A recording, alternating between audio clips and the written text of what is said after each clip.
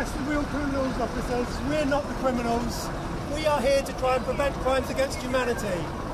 Please arrest the people who are responsible for that because it's not us. If you don't go into the square, you may be arrested. You carry on at the moment. Right, section 7, please, Governor. Parents like me are seeing their children die because of the climate crisis. Why are you arresting us and not the people responsible?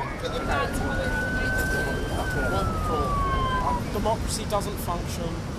I've only voted two times in my whole life.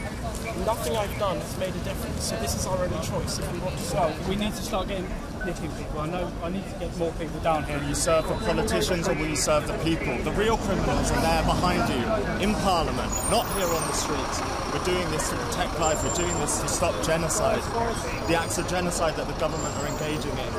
But at three degrees, up to 30% of the world will be uninhabitable because of heat. We are protesting against genocide.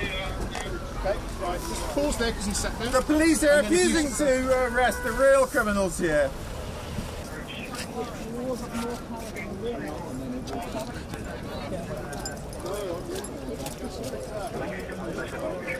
a little bit like that's not a paddle. You just get my You okay? just need to get my top down. Oh, no problem. I'll help you.